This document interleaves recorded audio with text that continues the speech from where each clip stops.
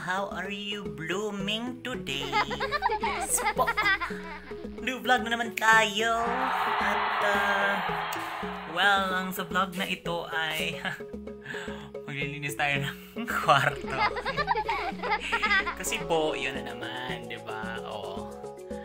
Simula nung nagpanic akong, you know, nag-cramming pala, gumawa ng mga paperworks ko noon, hindi na ako naka, ano, hindi na ako naka-fix ng room ko. At, ah, messy-messy niya talaga masyado. Oo, di ba?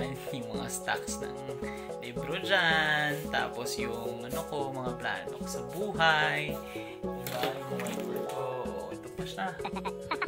Ito pa yung mga plans natin. Oh, may makikita kayo. makikita kayo dito something. Bawal ipakita.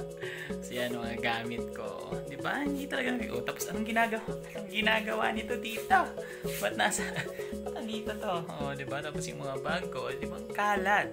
So, uh, for this vlog, I'm gonna rearrange my room and you'll be with me sa, pag, sa pag-arrange nito. Tingnan natin kung uh, maganda ba, ba yung changes na magaganap dito. So, stay tuned and enjoy!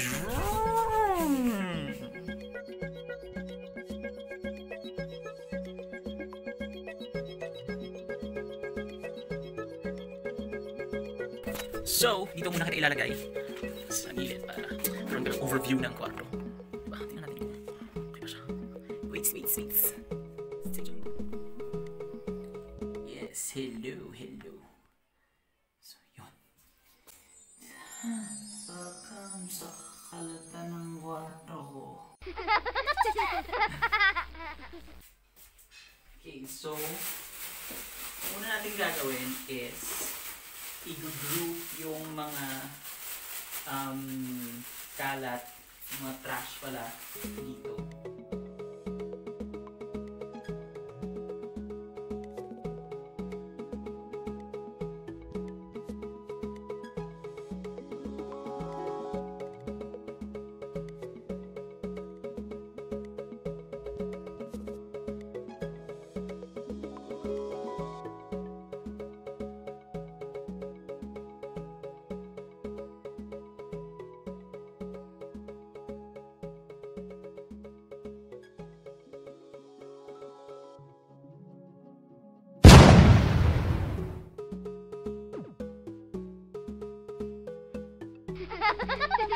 Ha ha ha ha!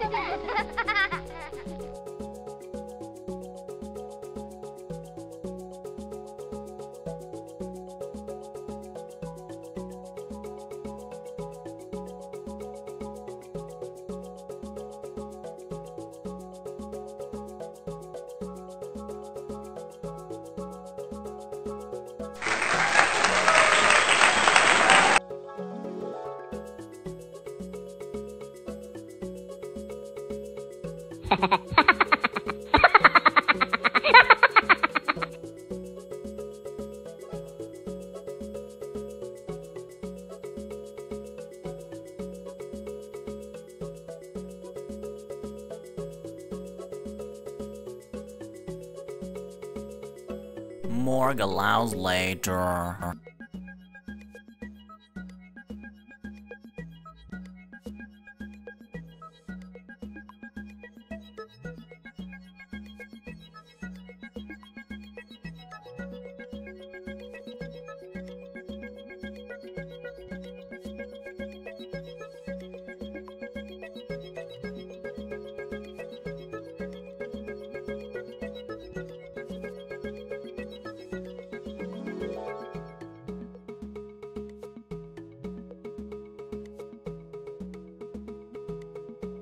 Yes po, I'm back.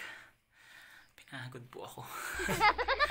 so I'll be showing to you my um, makeover ng room ko. Diba? Muna tayong linis.